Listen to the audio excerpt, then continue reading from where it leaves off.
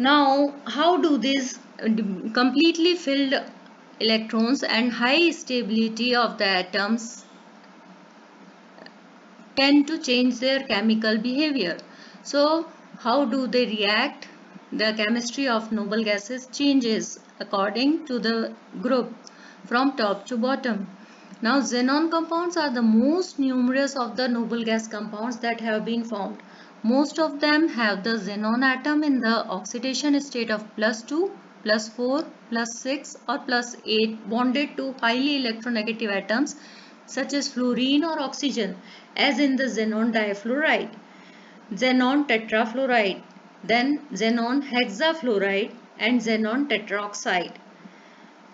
One uh, sodium compound exists that is sodium perxenate Xenon reacts with fluorine also other than oxygen. Uh, it reacts with fluorine to form numerous xenon fluorides like xenon hexafluoride and uh, in particular commercially available and uh, can be used as the fluorinating agent.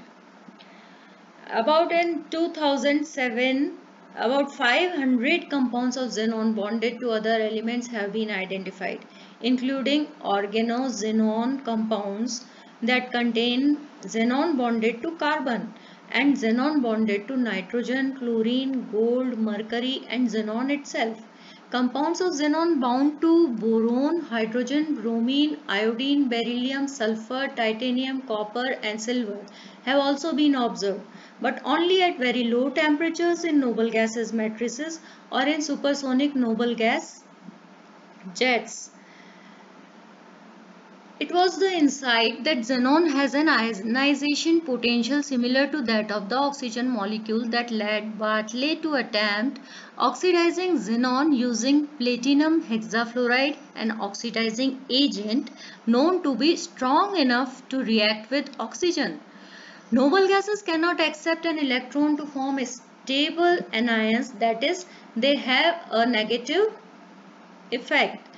The extraction of oxygen, argon and nitrogen also can be done from the liquid air. So the inert gas argon can be extracted along with these oxygen and nitrogen. The uh, approximate composition of the air that is 78.08% of nitrogen and 20.95 of oxygen and 0.04% uh, carbon dioxide and between 0 to 4% of water vapor comprises of argon that is inert gas, noble gas uh, that is 0.93%. Nitrogen, argon and oxygen can be separated from the air by the liquefaction followed by fractional distillation. Firstly, the air is filtered to remove the dust. It is then cooled to minus 200 degrees Celsius at which temperature air is liquid. Then as it is cooled, water vapor condenses and it is removed to absorbent filters and carbon dioxide is then removed at minus 79 degrees Celsius. When it freezes, the oxygen liquefies at minus 183 degrees Celsius, argon at minus 186 degrees Celsius and nitrogen at minus 196 degrees Celsius. The liquid nitrogen, argon and oxygen are then separated by fractional distillation.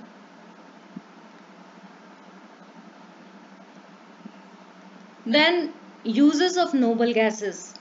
Noble gases have very low boiling point and melting points which makes them useful as cryogenic refrigerators, refrigerants, in particular liquid helium which boils at 4.2 Kelvin that is minus 268.95 degrees Celsius is used for superconducting magnets such as those needed in nuclear magnetic resonance imaging and nuclear magnetic resonance. Liquid neon, the another noble gas, although does not reach temperatures such low as helium, but uh, it finds use in cryogenics because it has very it is over 40 times more refrigerating capacity than liquid helium and over 3 times more than liquid hydrogen Helium is used as a component of breathing gases to replace nitrogen due to its low solubility in fluids, especially in lipids. Gases are absorbed by the blood and body tissues when under pressure like in scuba diving, which causes an anesthetic effects known as nitrogen narcosis.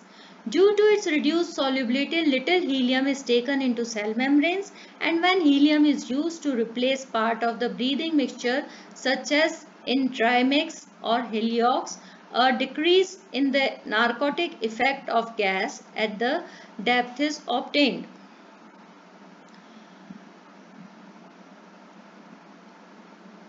Another noble gases uh, that are used to provide an inert atmosphere that is argon is used in the synthesis of air sensitive compounds that are sensitive to nitrogen.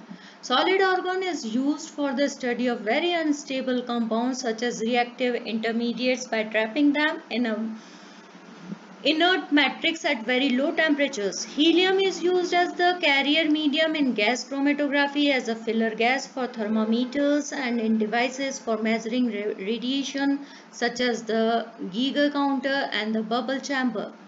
Helium and argon are both commonly used to shield welding arcs and the surrounding base metal from the atmosphere during welding and cutting as well as in other metallurgical processes and in the production of silicon for the semiconductor industries. Now noble gases are commonly used in lighting because of their lack of chemical reactivity. Argon mixed with nitrogen is used as a filler gas for incandescent light bulbs.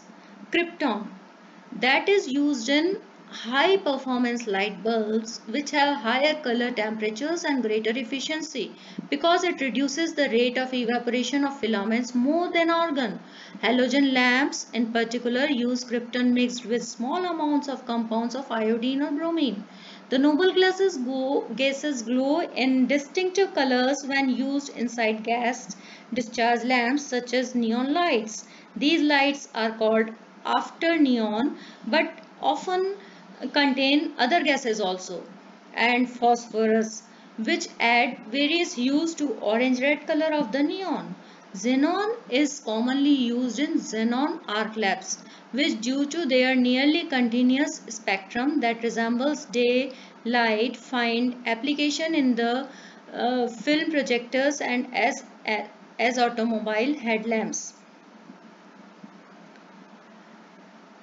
So uh, some of the noble gases have direct application in medicine also. Helium is sometimes used to improve the ease of breathing of asthma sufferers.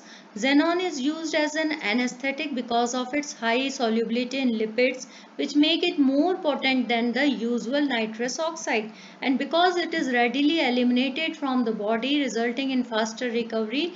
Xenon finds application in medical imaging of the lungs through hyperpolarized MRI. Radon, which is highly radioactive and is only available in minute amounts, is used in radiotherapy. So this is all about noble gases chemistry. Have a good day. We'll continue another topic tomorrow. Thank you.